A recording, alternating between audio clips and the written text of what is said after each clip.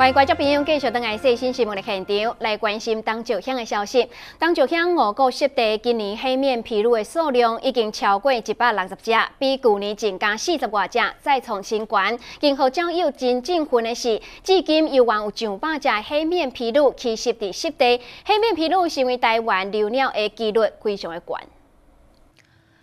去年栖息伫五股湿地黑面琵鹭大约一百二十只，嘉义县野鸟协会经理事长蒋世达发现，今年五股湿地黑面琵鹭已经超过一百六十只，成为全世界黑面琵鹭的重要栖息地。伊阁发现，往年三月中旬，黑面琵鹭就会陆续往北来迁徙，一直到四月初迁徙完毕。但是目前湿地内黑面琵鹭也有一百多只。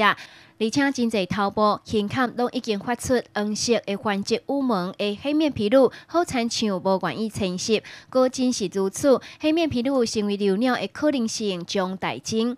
根据全球普查，全世界黑面琵鹭的数量原本曾经达到一万多只，但是到了一九八零年，只剩两百多只，引起国际动保团体高度重视，引发抢救保护黑面琵鹭。在动保团体努力之下，目前全世界黑面琵鹭的数量已经增加到两千多只，其中五个湿地就有一百六十多只，而数量有定年增加的趋势。上重要的黑面琵鹭真有可能成为留鸟，成果应该归功于保育人士、交友、甲警方联手扫动湿地内非法掠鱼。新新闻，钟来新当就乡采访报道。